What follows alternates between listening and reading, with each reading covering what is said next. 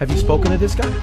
Of course I have spoken to him. I've spoken to him many times. What did he does him? not speak English, so I looked him dead in the eye and I said, Uva moher, which means you will die in his own language. Look into my eyes, little man. Little Brazilian. Uva moher.